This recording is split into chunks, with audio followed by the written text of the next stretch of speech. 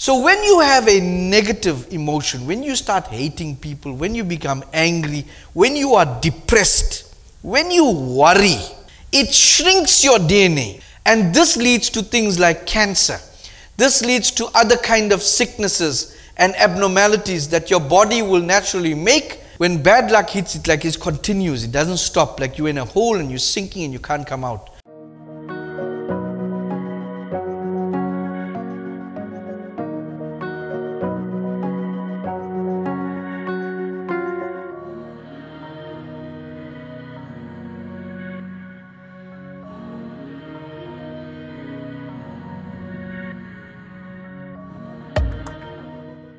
Good morning and welcome.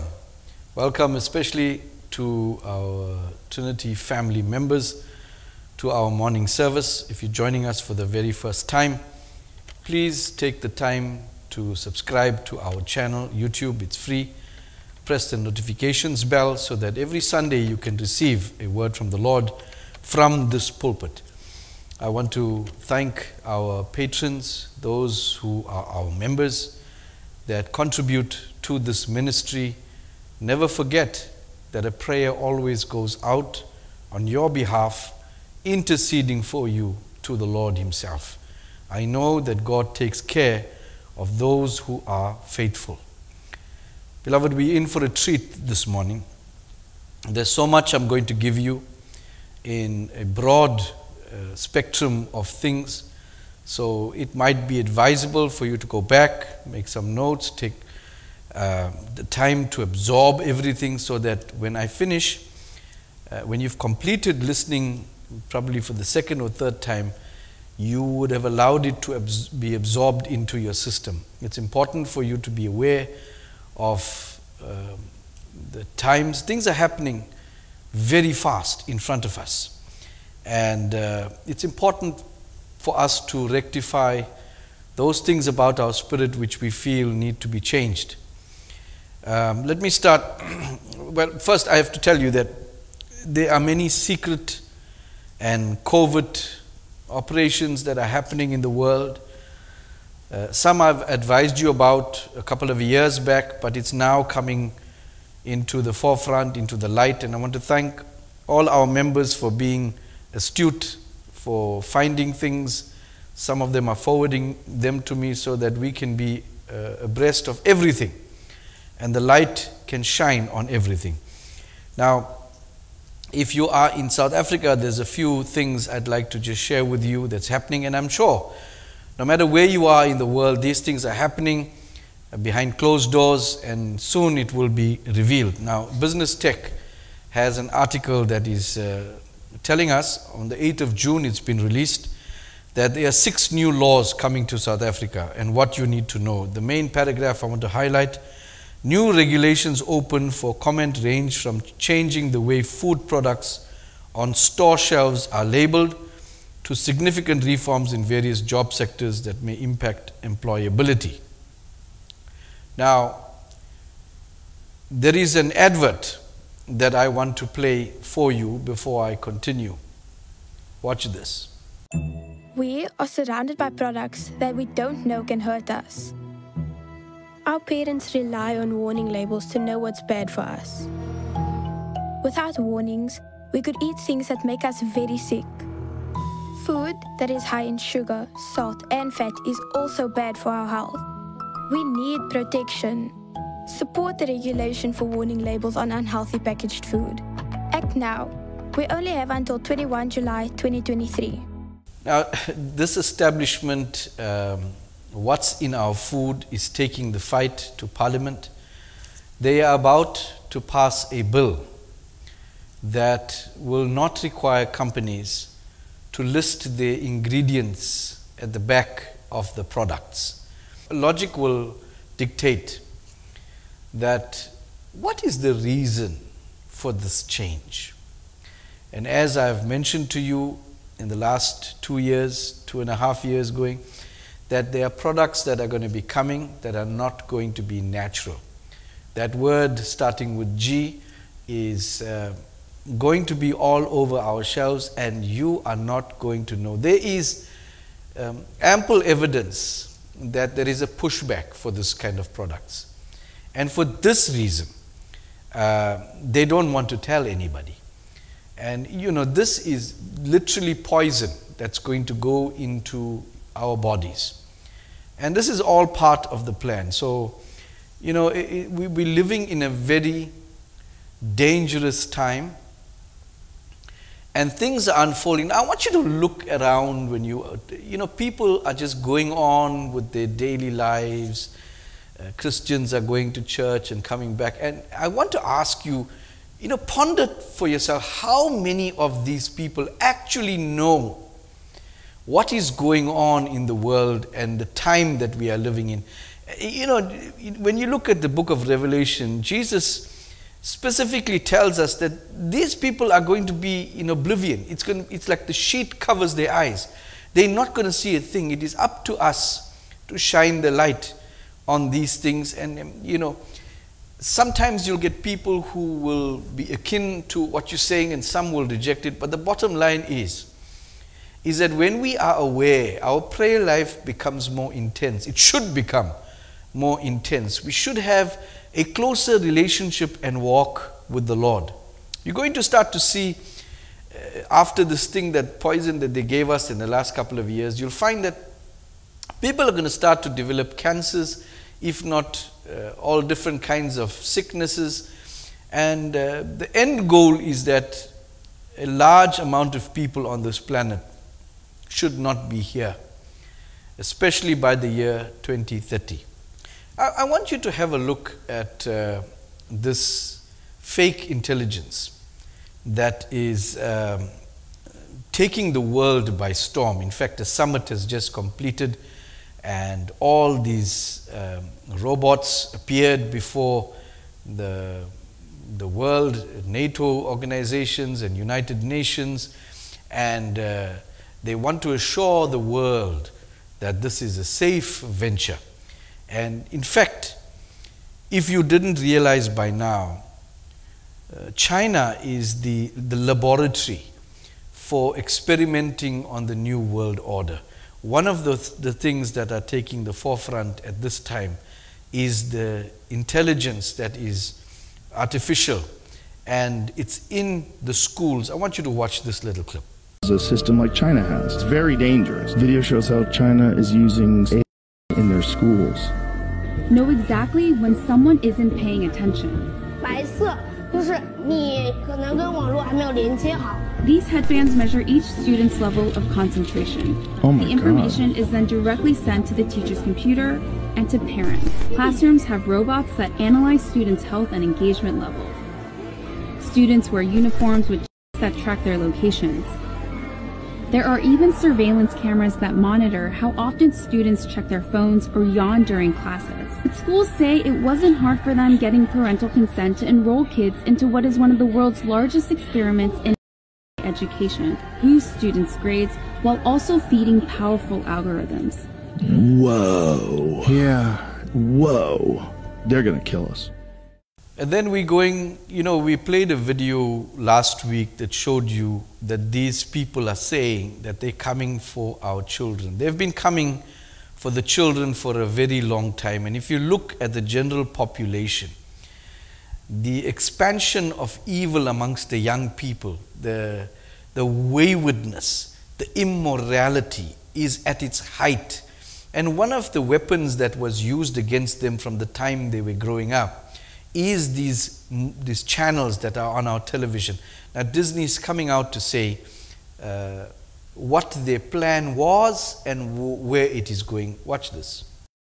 Thank you. I'm Alan Bergman. I'm the co chair of the entertainment division at Disney. And we have a special announcement to make today. As you know, Disney is a place of magic. It's where frogs turn into princes, where orphans like Cinderella can transform into beautiful princesses. And Unlike us jaded adults, the children believe in magic. And we spent a hundred years cultivating a brand that has been trusted and loved by families for generations. And with that trust, we've covertly been inserting queerness into our films and television shows.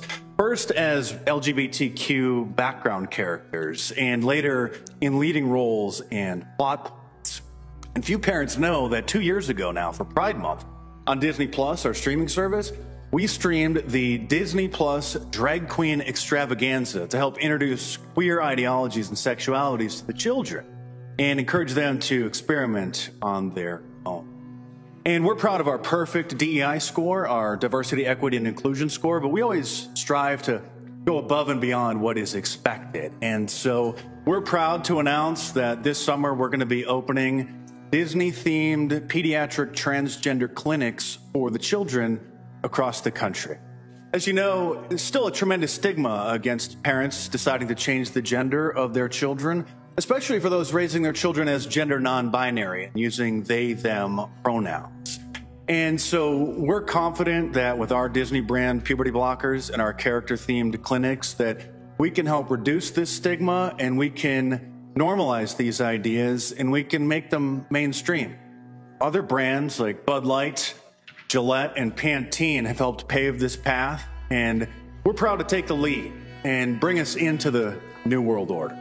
We want to thank Governor Gavin Newsom, President Joe Biden, Assistant Health Secretary uh, Rachel Levine, an incredible woman. I notice I didn't say transgender woman. She's a real woman, and it's about time that we stop making these divisive distinctions when talking about her and others. So every patient will receive a free season pass to any Disney theme park. And just for coming in for a consultation, you'll get a free six month subscription to our Disney Plus. Now, if you listened carefully, they are covertly uh, inserting queerness. Uh, and now they're going to no more covertly put it in before they, the, this gentleman said, calling him gentleman, he, um, they inserted it as background characters in movies, you know, these cartoon characters. Now they want to make these queer people the main characters. And, and, and it's no longer being hidden, it's coming out. But um, we are, you know, the, the more you are aware of these things, the less you get caught out, including, especially, the children that live in your home, those that come, those that are special to you. You know, we're talking about hidden things coming out. I'm just displaying to you a, a revelation of all these things that are going on in the world in different spheres. Now, I want you to see the deviousness, the in your face kind of mocking about who is doing the perpetrating of this crime against God's children in the world. And it starts with this very little known island in the middle of the Indian Ocean, not far from Malaysia, not far from India. This island is called the Diego Garcia Island. Now, in order for us to get a better picture of this island, I want you, you know, there's a vast history. I can't get into everything, but this little video clip should give you an idea. Watch. Out here in the Indian Ocean, there's a lot of emptiness.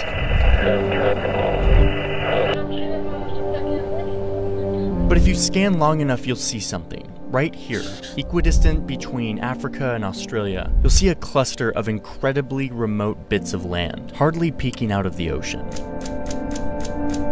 This is the Chagos Archipelago, a chain of around 60 remote atolls and islands, a thousand or so kilometers from any landmass. There used to be people here, local islanders who lived here for many generations. But those islanders are gone now. And today, the main island, called Diego Garcia, looks like this. It's a United States military base. And instead of a local community of coconut farmers, this island is now a little slice of America, transplanted into one of the most remote places on Earth. But this weaponized island doesn't even belong to the United States. It's technically British territory that was secretly rented to the US in a covert deal 50 years ago. So what's going on here? What's the deal with this American base on a technically British island? And whatever happened to the thousands of islanders that used to live on this island? The US and the UK didn't sign any treaties or formally transfer any money during this process. All of that would require congressional approval and public scrutiny and all of these things that would probably make it not possible. So instead, they kept the deal secret, like literally secret. Like in the letters that they wrote back and forth, they said, quote, there is a secret agreement, and that the US would, quote, effectively but indirectly pay the British for these islands, meaning there was no money changing hands, but they still paid them by wiping out the debt. And that they would be taking, quote, special measures to maintain the secrecy of this arrangement. But there was still one big problem here, which is that there were over a thousand locals still on this main island of Diego Garcia. But in the eyes of the US and the UK, this wasn't a problem. In a government memo, the British assured the Americans that there will be no indigenous population except the seagulls. And indeed, they made good on their promise. The locals were herded onto cargo ships and shipped off to the islands of Mauritius and the Seychelles. And they were left there, in a world that many of them had never seen before, to fend for themselves. Many had never worked outside of their island. They had no skills or no way of getting work. Back on the island, their pets were rounded up and gassed. Diego Garcia became more and more militarized with time. Soon it had a deep sea port where nuclear submarines could dock, and it soon took on the nickname the Footprint of Freedom. And yet, with time, it became more and more secretive. No journalists are allowed to visit Diego Garcia. Few civilians have ever arrived here. And among those civilians, by the way, are NFL cheerleaders who came to boost morale of the troops. The island was also used as a CIA black site, used to interrogate suspects after 9 11. Both the US and the British governments denied this and then finally admitted it. We did some things that were wrong. We tortured some folks. So, even up until now, this hub military base is a military base of the CIA. And the commissioner that is, has been appointed there. It's a, it's a British territory that has been illegally uh, an agreement signed so that the Americas can rent that space to conduct all their operations into the Middle East, into Afghanistan, into Iraq, into the Far East. This is the hub of operations and all the planning of evil to subjugate human beings are being orchestrated in that island. There is no reporters that are allowed on that island. Before I take you any further about that island, I want you to pay attention to that name. Why the Spanish name, Mexican name, Diego Garcia? Let's look closer. You know, nobody revealed this to me. This is what the Lord put in my spirit to identify what's happening. Now, the, the word Garcia, for example, the first three letters, G A R, it stands for, it's, it's short for a garrison, which is a military uh, post and CIA intelligence agency. So, so GA stands for garrison and CIA, and CIA stands for CIA, which means Garcia. So it is a CIA military outpost. And the word Diego is even more interesting. Diego means teacher from ancient Greek. And more interesting and importantly, Saint James or may God protect. And here is the most interesting part it means holder of the heel and supplanter from James or Jacob, more especially Jacob. Now, supplanter. Supplanter means to usurp the place of, especially through intrigue or underhanded tactics. In the Bible, Jacob supplants his older brother Esau. We see that in the book of Genesis. Afterward, his brother came out and his hand took hold of Esau's heel. So his name was called Jacob. Isaac was 60 years old when she bore them, Isaac's wife. And now, you know, if you know the story of the Bible, these twins, Jacob and Esau, Jacob later became known as Israel, the true Jewish nation. But uh, his brother Esau was actually the firstborn, and he was coming out of the womb when his brother Jacob was trying to hold his heel and supplant him, deviously pull him back so Jacob can come out first. But Esau came out first. So Esau, in, in, in, in Jewish culture, the firstborn inherits everything the power, the money from his dad. But as you know, the mother, uh, the father was going blind, Isaac was going blind, and the mother uh, deceitfully uh, made uh, Jacob appear as if he was Esau.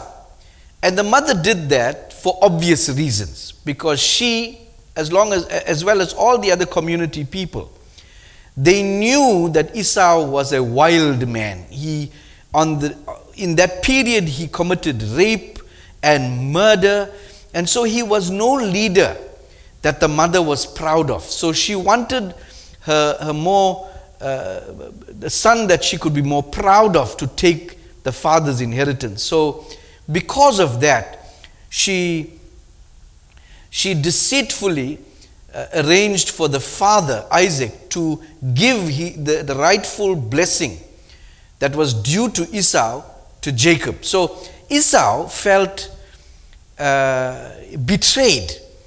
He felt God let him down.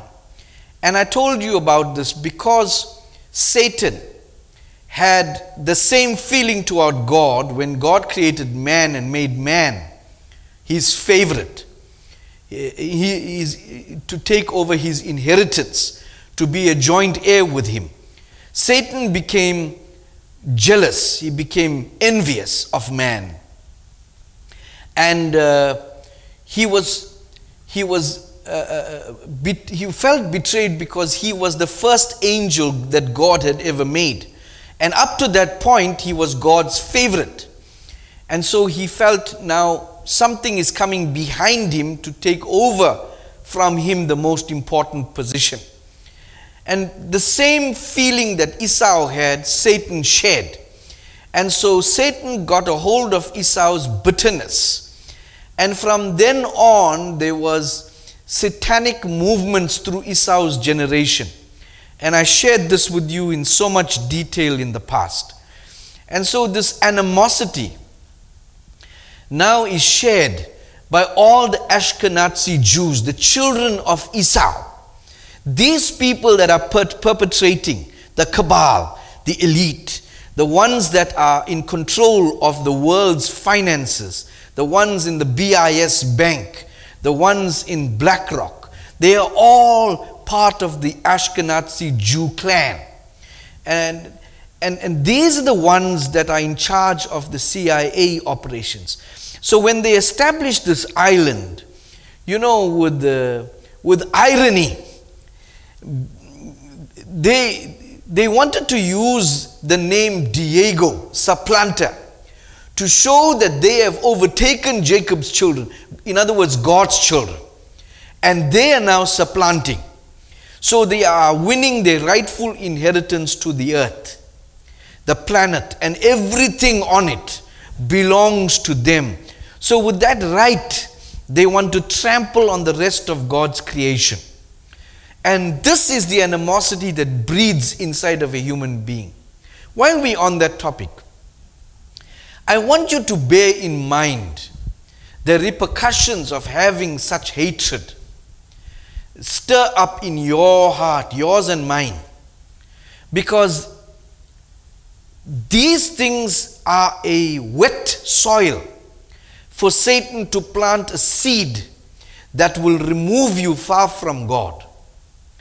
And so, even if you have some bitterness, some anger, some unforgiveness, looking at the history of these, this tribe, I ask you to put that behind you and let God's love filter through. You'll see by the end of this sermon exactly what uh, the repercussions are for carrying such hatred. You know, just to put everything into perspective, uh, the Wikipedia about, tells us about Diego Garcia in the politics section. Diego Garcia is the only inhabited island in the British Ocean Territory, an overseas territory of the United Kingdom, usually abbreviated BIOT. The government of the BIOT consists of a commissioner appointed by, underline that, King Charles III. The commissioner is based in London. You know, these people go around with human rights, they want to promote human rights, the United Kingdom and the palace and all these people. Do you know the inhabitants of Diego Garcia? If you look deeper into the history there and all the other videos that go with it, they removed these people forcefully. They poisoned their animals and they're living in poverty right at this time for 50 years in the islands of Seychelles and Mauritius. And it's just degrading. I want to read to you the book of Luke, chapter 10. You know, we've been reading this as Christians for very long, but I doubt you really got the true import of what this statement by Jesus means.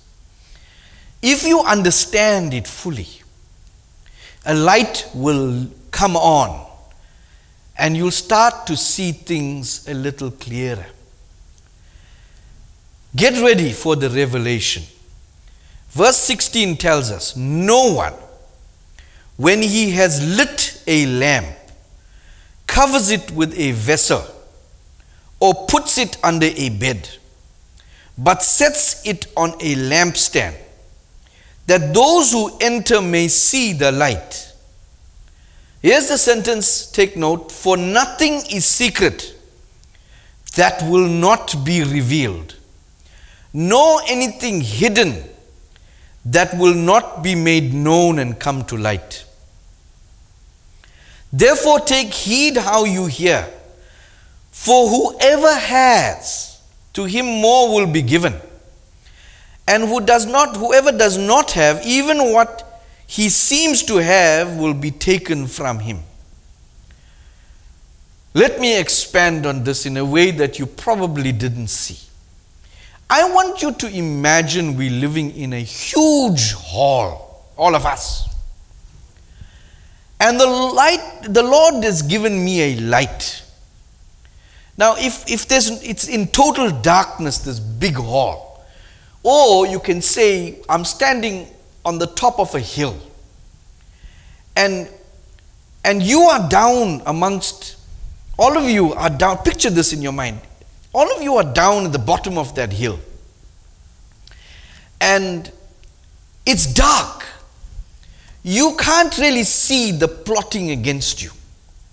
You can't see what's going on in the dark. And God gives me this light from this hill. And when I shine this light, speak my words, everything lights up around you. So you can see the plots, the secrets. Nothing will be hidden because the light is shining on all these things that are going on. So nobody can catch you by surprise. Now, when God gave me this light to shine on the things, on the world around you, He didn't give it to me so that I can cover it up and keep it to myself.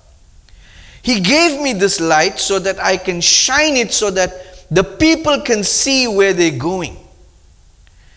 And if you don't have darkness around you, then you can see those things that are hidden. Nothing that is hidden will not be revealed when the light shines on it. And, and th- this is my assignment in the end of days to shine that light so that the people do not stumble in the darkness. Now, God is saying here, be careful what you hear. So, people can speak in the dark. In the dark, when people are in dark, they can speak and people can be bluffed. But when the light is on, what you heard has shined, has shone it on everything. And then he says, if I don't shine the light, whatever light he gave me, it seems that I have, I will lose it. So it is, it is mandated. Now, since you carry that light, since the light has been given to you to carry, you too cannot cover it up. It's your job to shine that. This is this is mandated to you by God. Now you're carrying the light. Now, you see, when you walk around now, you're not walking around like the other Christian people. They're going, singing, clapping, dancing, falling down, getting laid in, reading the Bible, coming, going, coming, going. You are of a different caliber. You are like a new creature. You can see things now. Where they, if you try to tell those people that are in the dark, then what are you talking about? What are you talking about? Because only you can see it. So, your job now, I'm giving you this mandate that God has given me. Because whatever you have will be taken away from you. These are His words. And this is the reason I ask you. Please take time to share these things. This it's, it's more important than you making money at this time. It's more important than you going to work and earning a salary at this time. This is regarding the spirit of a man. This is regarding saving the spirits of people all around you. Your bosses, people you work with. Listen, you're going to be rejected many times. But if some, even one catches that light, that is salvation to that person through your work, through your light. Even when I preach, you'll find people follow for a little while, then they want to unsubscribe. Then they want to unfollow. Listen, I cannot be dismayed by anyone that refuses to see the light.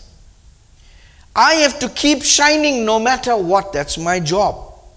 And I want you to take that mantle of light as well and do your best to make that happen. Last week, I want to just complete that thought so I can bring you new revelation. I promised you something very deep, and I'm going to bring that to you. But let's finish what we shared last week, something maybe even deeper than what we're going to share this week. We spoke about the two seeds the good seed and the evil seed that Satan sowed inside of Adam, who already had a good seed in him. Now, the good seed is connected to the spirit world. The good seed is not connected to the physical material world. The evil seed is connected to the material world. And this is so important Evil is connected to the material world. Evil is down. Good is up. So nothing physical, nothing material can satisfy or help grow the good seed. So no money is going to help the good in you prosper. No car no clothes, no jewelry is going to help the good seed in you to grow. But those things will help the bad seed in you to prosper. Not that it's bad to have those things. Don't get me wrong. It's bad to treat them with priority when the Spirit of God is the priority. As long as the good takes priority and the, the, the material means nothing to you, that's when the good seed overtakes the, the, the bad seed. Now, if you want to prosper the evil seed, it takes mammon. And mammon is the only thing that can satisfy the evil seed.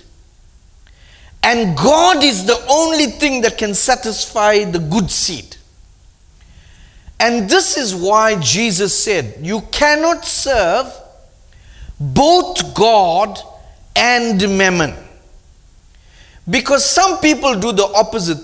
If they get money, they can give God up, it doesn't matter. But there's others who can lose everything. But they have God, it means everything. You'll know of scriptures that speak to this. Matthew 6:24 No one can serve two masters. These are the Lord's words himself. For either he will hate the one and love the other, or else he will be loyal to one and despise the other. You cannot serve God and mammon. Mammon represents the material world, and God represents the spirit world. And this is the advice Jesus gave to the young man that was rich that came to him and says, I've done all these things. And then the Lord says, Let me test him. He got depressed because he lost the mammon. Or he was, God told him he needs to lose the mammon to get closer to God. These two good and evil seeds, material and spiritual, they are constantly in conflict with each other.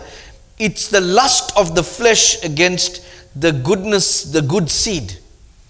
Let's read Galatians. Paul tells us clearer. For the flesh lusts against the spirit, and the spirit against the flesh, and these are contrary to one another so that you do not do the things that you wish. Now, even the Lord Himself, when He walked as a man into the desert and carried away by the Spirit of God, what did the Spirit of God do first to Jesus? He took him into the desert to be tempted by material things so that the bad seed because his mother was, was Mary, she was a human, she was a descendant from the seed of Adam. So she carried bad seed in her, whether she liked it or not. Sin was in her, whether she liked it or not. But when Jesus was born, even though the Holy Spirit was dead to Jesus, the mother was a human. And bad seed was inside that body. And the first thing when the Holy Spirit descended upon the Lord, took him into the desert to be tempted. Why? To kill the desire of material things. So Satan rose up and he just did what the Spirit of God wanted to do. Wanted him to do? He wanted him to tempt Jesus. And so at that time, when the temptation came, even to eat food, material, to boast, jumping and letting the angels catch him, material, it's, it's a, pride is a material thing. It's a thing that people must look at you and, and admire you.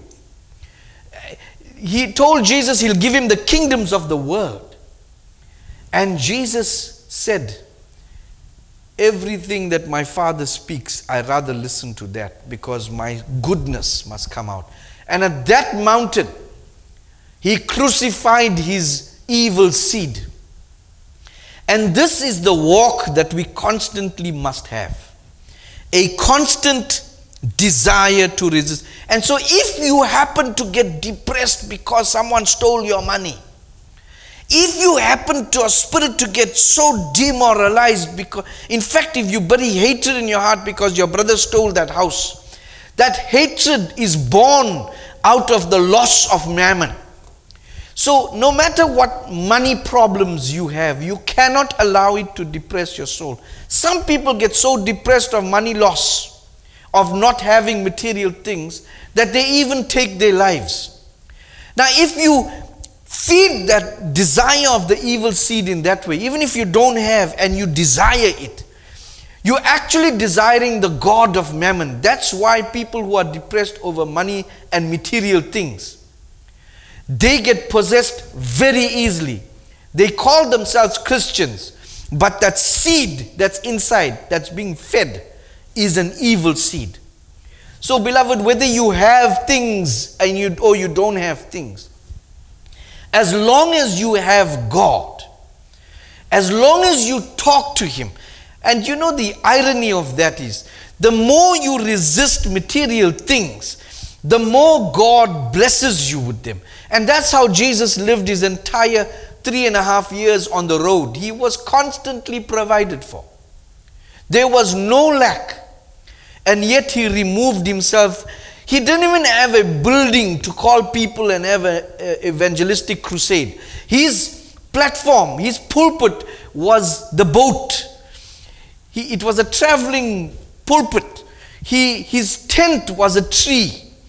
His church was a mountaintop. So it doesn't matter.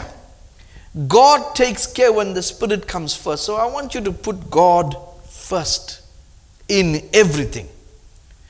And you know, I, I, don't, I don't mean to go into this because this is, this is not who I am or the church is. But if this is a teaching, you take it or leave it, it's up to you. If you desire things so much that you feel that you don't want to give to God um, His portion, and I told you last week, this is the test of your desire for mammon, of your evil seed. If you resist making sure that the light shines on everybody, that my light is spread, if you resist that spiritual, because that comes from goodness. When you have good seed in you, you will make sure that the light shines brighter. The spiritual things come first. But there's some that are tempted to hold on because why? They can do things with that 10%. They can go and buy things, material things for themselves. They can satisfy the material, physical needs. And that's why Jesus stopped the entire service in the synagogue. When service was about to begin, and the preachers were probably in the front, and the elders, and, and people were walking in and giving money, Jesus was sitting by the treasury. And he wanted to point to them the evil seed. He looked at everybody giving, and then his disciples said, No, come, the service starting. What are you doing, Lord? Come. And Jesus said, No, no, no, you, you come here. I want to show you something. And he looked at the widow and he says, See this lady? She gave everything. Now, God is not asking you to give everything, but she had very little, and whatever little she had, she gave it because her good seed was alive. Her evil seed was being crushed. It wasn't so much effective because there's a lot of rich people came and gave a lot. God is not dismissing that. But he says, Let me show you something. If you want to kill that evil seed completely, see if you can make that move. Let's go to second Esdras. Behold, I will go, as you have commanded me, and reprove the people who now live. Now remember, Ezra is talking to angel Uriel. But who will warn those who will be born afterward? For the world is set in darkness, and those who dwell in it are without light. Wow. For your law has been burned, therefore no one knows the things that are done by you or the works that will be done. But if I have found favor before you, send the Holy Spirit to me, and I will write all that He has done in the world since the beginning, even the things that were written in your law that men might be able to find the path, and that those who would live in the latter days may live. You see, these things I'm reading to you. These are things that Ezra asked God for because all the materials were burnt and they had no record of what's going to happen in the latter days and so forth. And so, this is the reason why I'm sharing this with you. Because this man asked God to write it. And the Roman Catholic Freemasons hid this thing. But it's coming to light. These are the things we've been reading the last few weeks about. So Ezra is saying to God, you know, the people in the last days, what are they going to do? They don't know anything that's going to happen. How the light is going to be shining on them. Somebody needs to know so that they, can spread this and, and, and, and reveal all the hidden things that are going to be awaiting them. Now, all these things Ezra is talking in 2nd Ezra is all about the latter times. And then he goes on to say this in 15, 2nd Ezra 15. Don't be afraid of their plots against you. Wow. Don't let the unbelief of those who speak against you trouble you. For all the unbelievers will die in their unbelief. Wow. So God is giving the latter day saints, not the church group, the people who live in the last days, He's giving them hope. So whatever they're plotting, it will be revealed by this light, and God will help you through it. Don't be alarmed. We read some of this in Revelations, but we get it from Ezra first in verse 5. Behold, says the Lord, I bring evils on the whole world sword, famine, death, and destruction. For wickedness has prevailed over every land, and their hurtful works have reached their limit. Therefore, says the Lord, I will hold my peace no more concerning their wickedness which they profanely commit. Neither will I tolerate them in these things which they wickedly practice. Behold, the innocent and the righteous blood cries to me, and the souls of the righteous cry out continually. I will surely avenge them, says the Lord, and I will receive to me all the innocent blood from among them. Behold, my people is led like a flock to the slaughter. Wow. You know, God is predicting these things that are happening way back in the time of Ezra, some 400 years before Jesus even came. I just want to take you to this contemporary thing that's happening in our world right now. There's an article that tells us, and this is a, this is a fact check, fact check article. 15 Minute City is an urban planning concept that promotes easy access to essential amenities. Now, I know that I've spoken about 15 minute cities or smart cities before. It's actually being, an experiment is actually being carried out as we speak in the United Kingdom.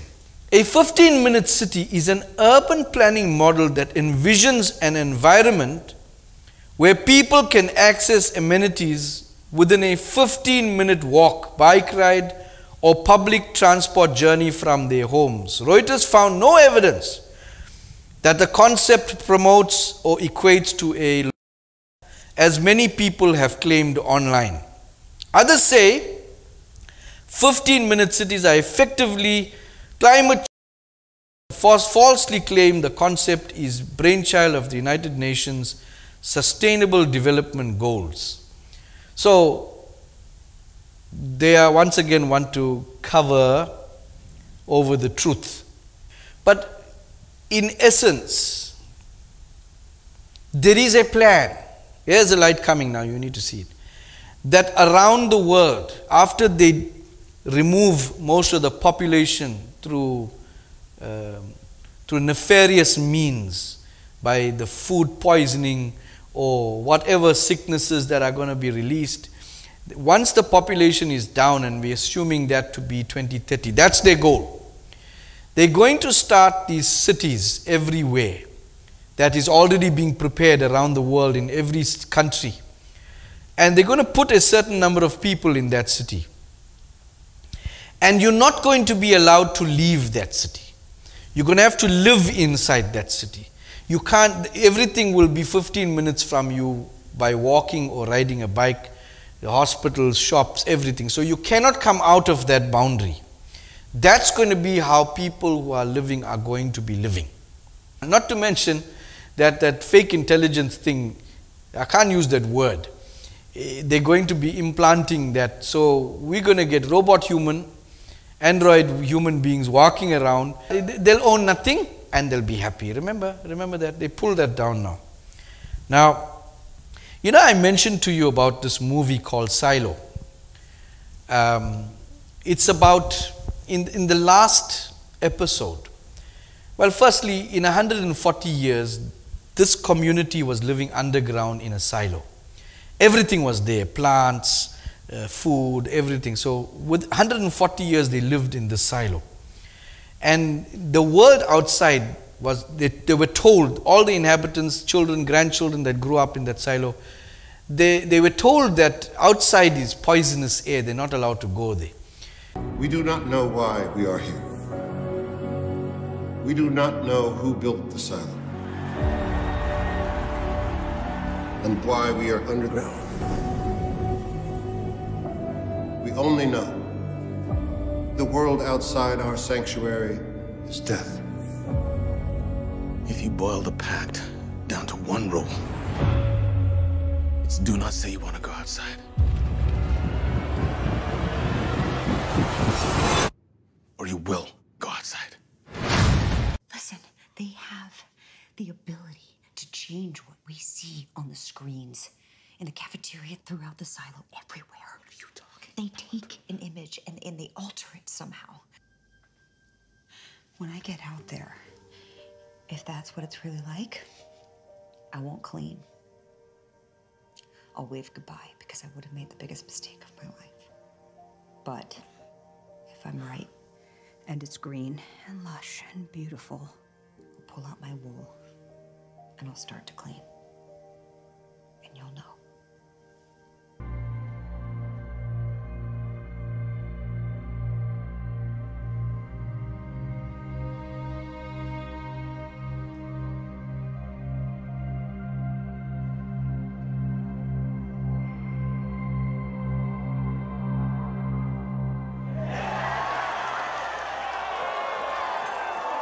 And in the last episode, somebody went out and they found that what they were seeing from the inside, because they had a glass to look on the outside and everything was dry and arid, uh, it was actually a virtual manipulation of what actually was outside. So the person that went outside uh, wanted to uh, be released from the silo, they allowed them to go out. And when they were showing back, there were a whole lot of silos underground that all different communities were living in. But in the distance, there was a city, and only the elite people is assumed to have been there. The rest of the world, run by mayors who are connected to the outside world, they were going to run these silos. So, listen, they are telling us what the future holds. Now, Having mentioned these smart cities, not for nothing, I'm going to read to you 2nd Esdras chapter 15. Woe to the world and those who dwell in it, for the sword and destruction draws near. Now, this is the end times prophecies. And nation will rise up against nation to battle with weapons in their hands. For there will be sedition among men. That means people will be rebelling against the government and growing strong against one another in their might. They won't respect their king or their chief or their great ones. For a man will desire to go into a city and will not be able. Now, come on. Two and a half thousand years ago, Ezra knew that you and I are coming to a time when they won't allow you to leave and go into a place, into the city. You're going to be kept by force in a secluded zone that nobody will want will be able to leave. And Ezra told us this. Listen, for a man will desire to go into the city and will not be able. For because of their pride, the cities will be troubled. The houses will be destroyed and the men will be afraid.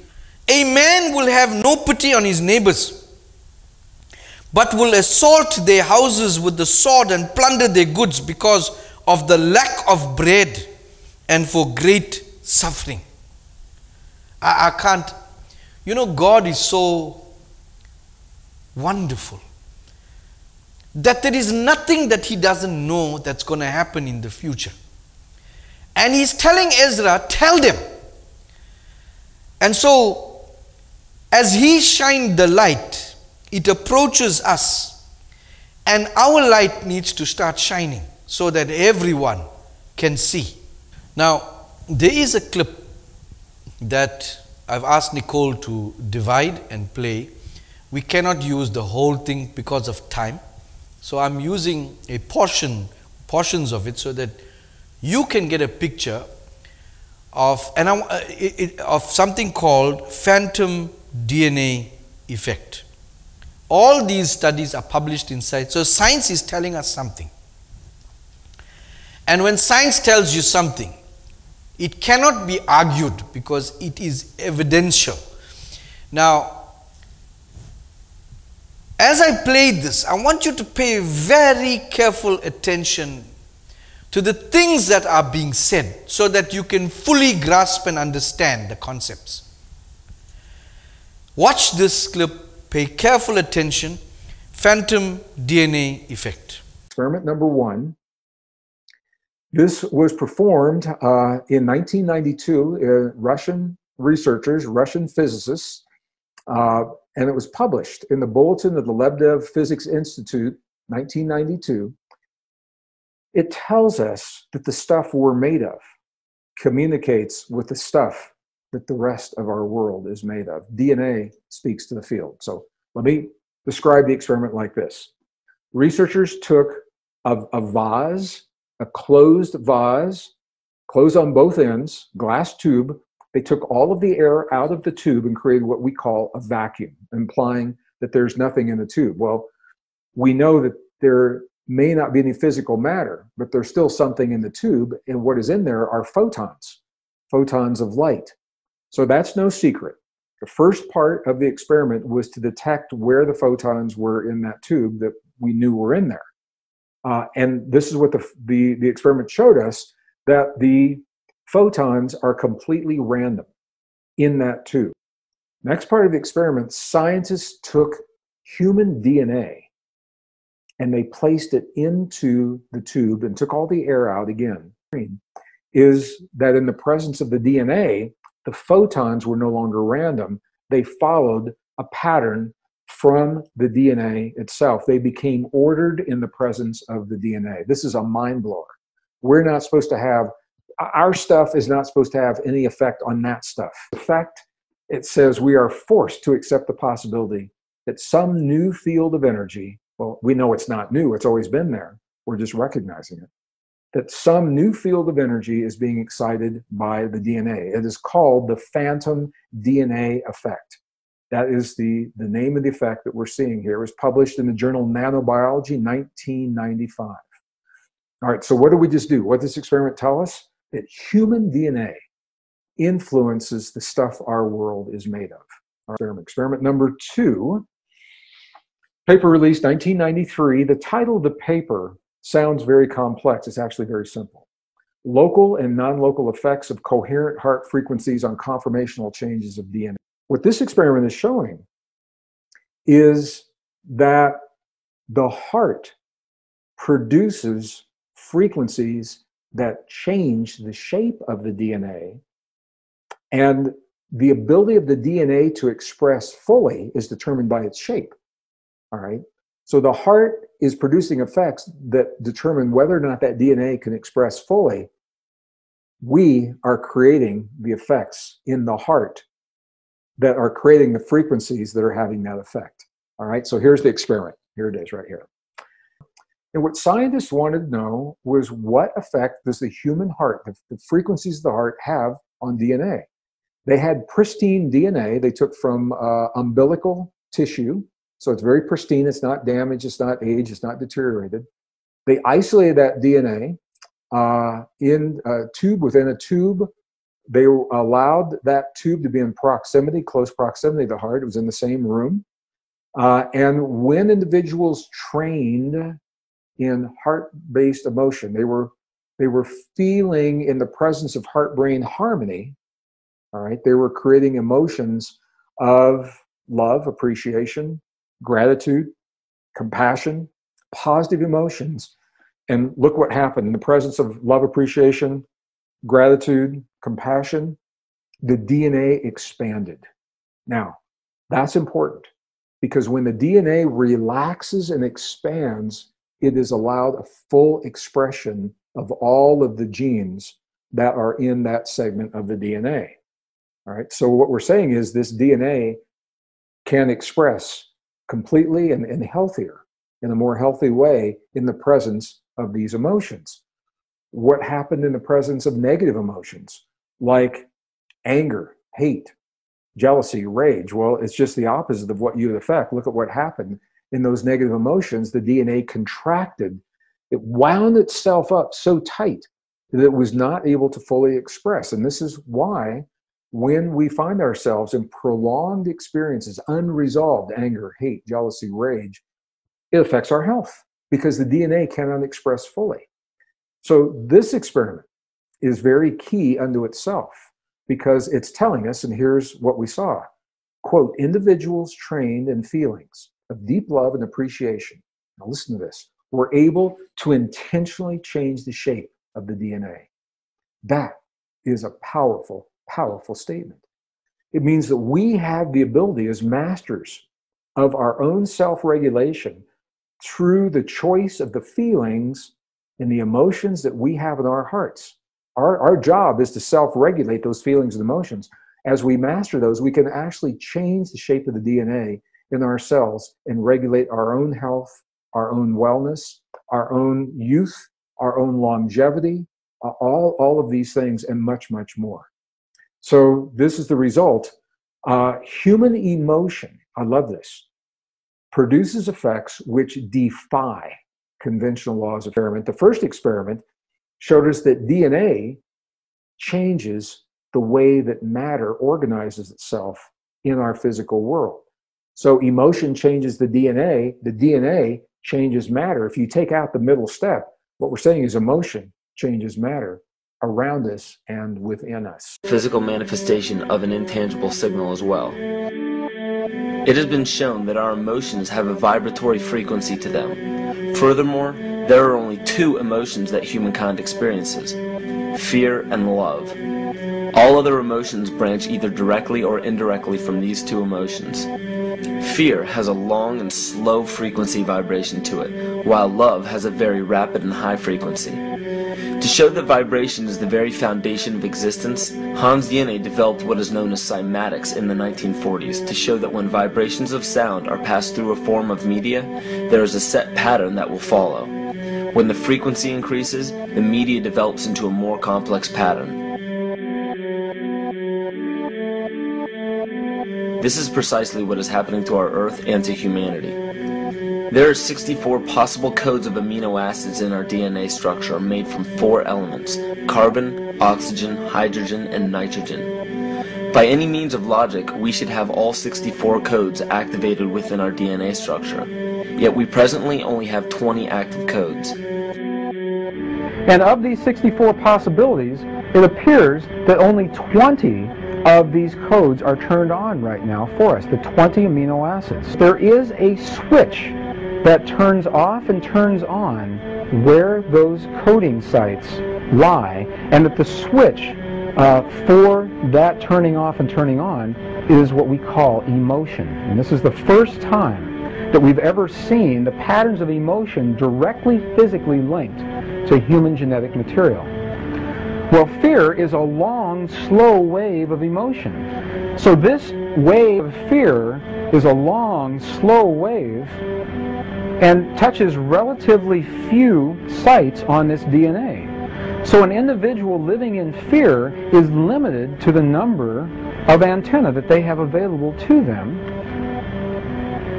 Whereas an individual uh, living in the pattern of love, this is love in DNA. You can see it's, it's a higher frequency, shorter uh, wavelength. We have many more potential sites for coding uh, along that genetic pattern. This information, this is amazing. This is the first time we've ever had a hard digital link between emotion and genetics. This is important to understand because another researcher named Vladimir Poponin measured tiny particles of light called photons inside a vacuum tube. The photons were scattered as expected. A sample of DNA was then entered into the vacuum tube and they measured the photons again. They found that the particles of light align themselves along the axis of the DNA. Then, as they removed the DNA sample, the photons remained aligned to the same form of the DNA, even though no DNA was present. This is what is known as the phantom DNA experiment. Science has now bridged a very important gap between physical and ethereal, or spiritual. Our emotions directly affect the structure of our DNA, which directly shapes the physical world we experience every day. Wow. You have the ability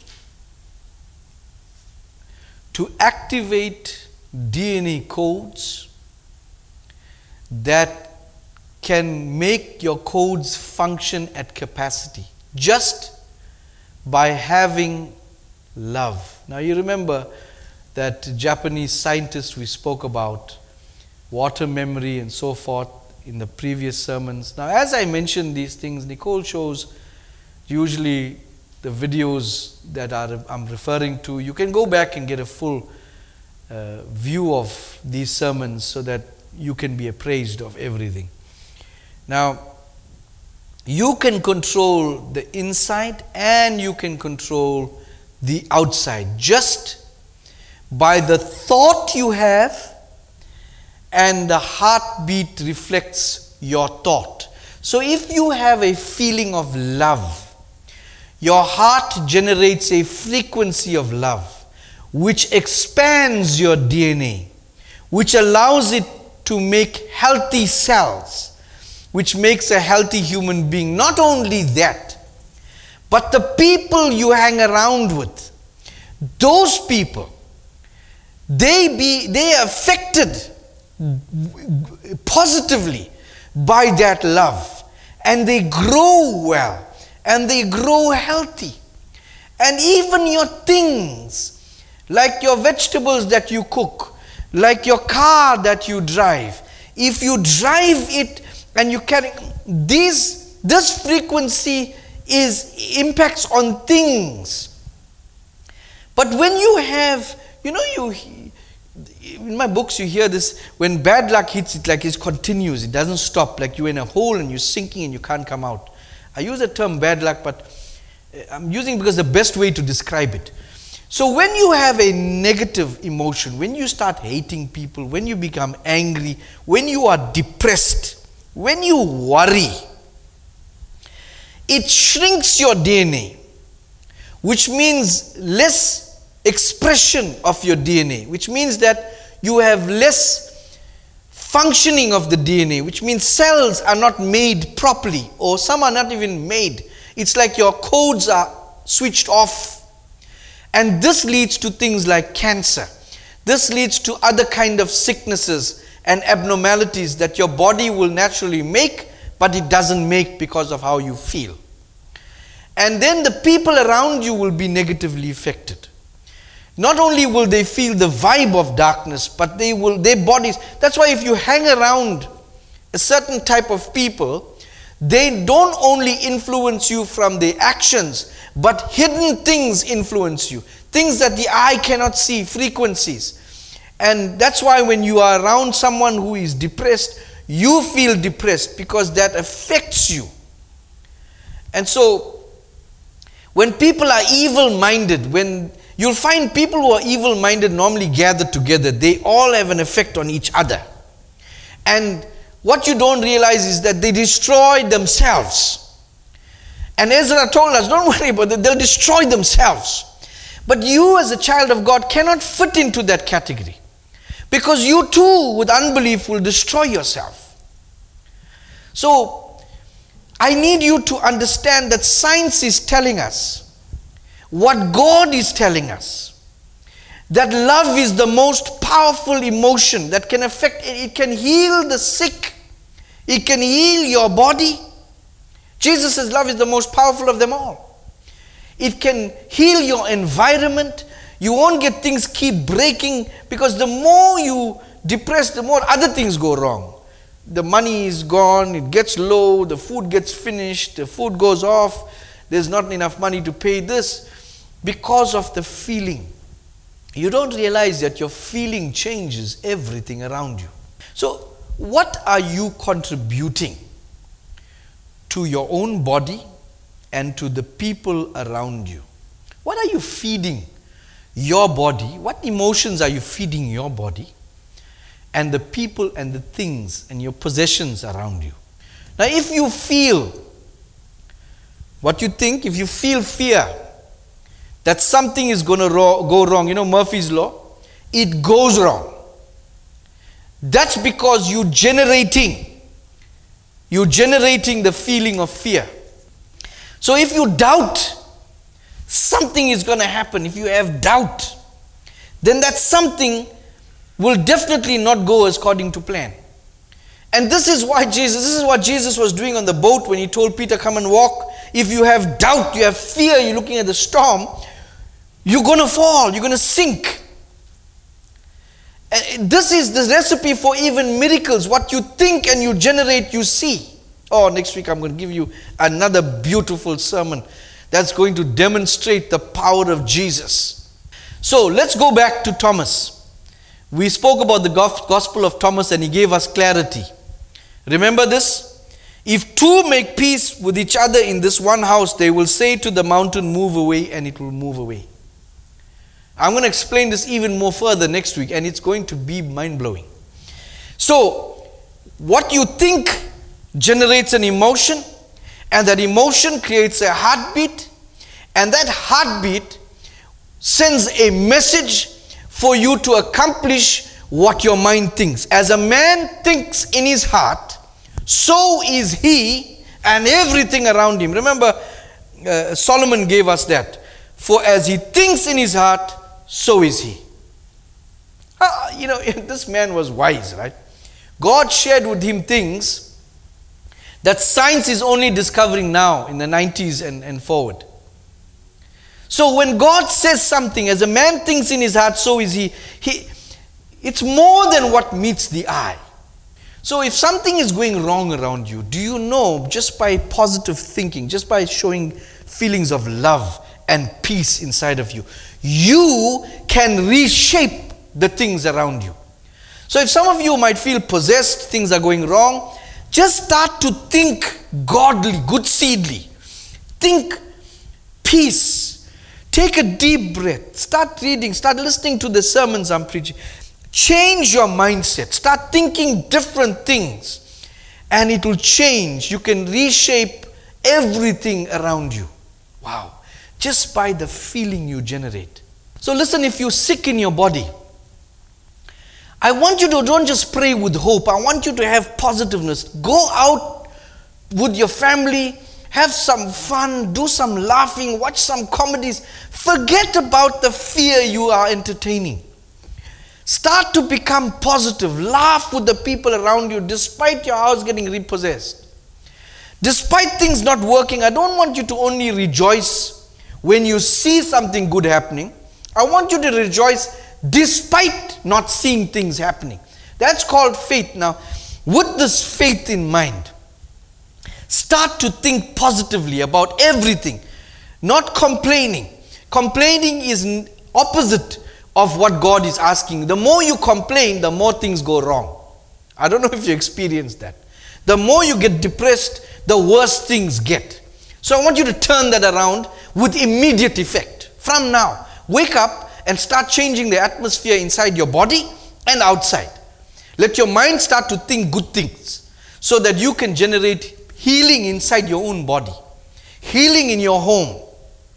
Everything that is going wrong, you and your family can turn it around right this minute, including young children, teenagers that are in the house. For some reason, you seem to hate the people you're living with. Forget them for your sake. Turn your mind around. Start to smile, start to laugh, start to contribute, start to go around with your family. Make things happen for your sake. Otherwise, you're going to destroy your own self. Do you know this is the thing that God gave us to be a master of ourselves and to be a master of the world around us? He gave us this unique power only only to a human being. Nobody else has it. Now, here is the most interesting thing. This awesome power that God gave the human can only be done by a human.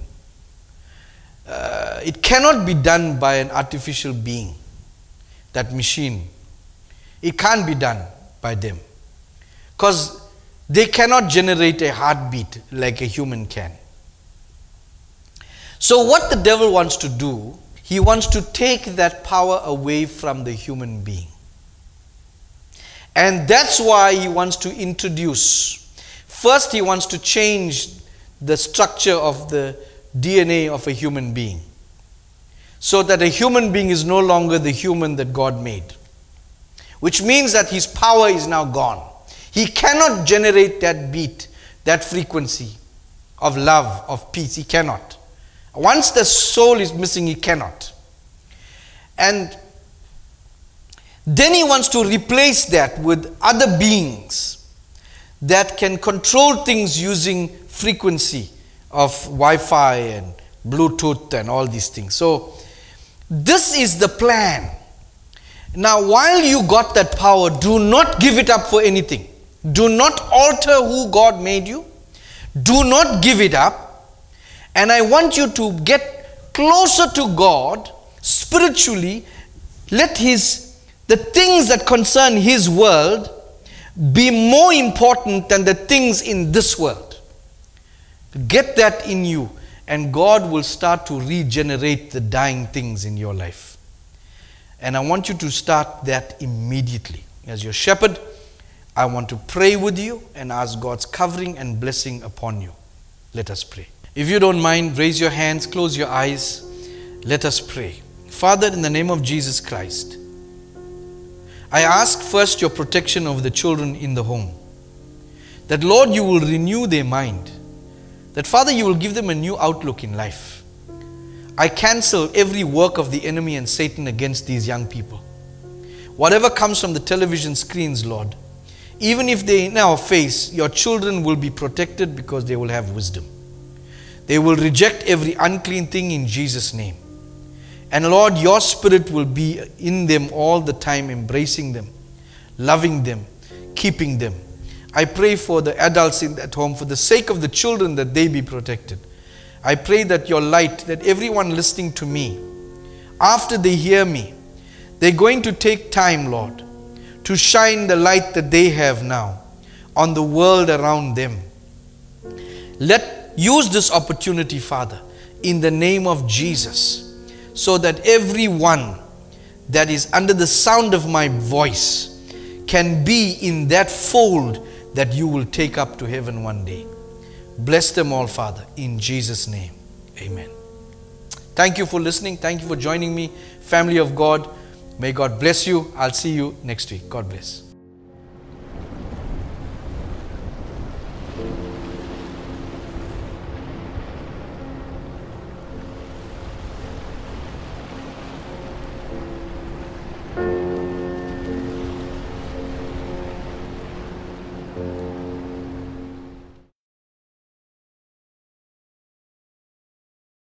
So, when you have a negative emotion, when you start hating people, when you become angry, when you are depressed, when you worry, it shrinks your DNA. And this leads to things like cancer.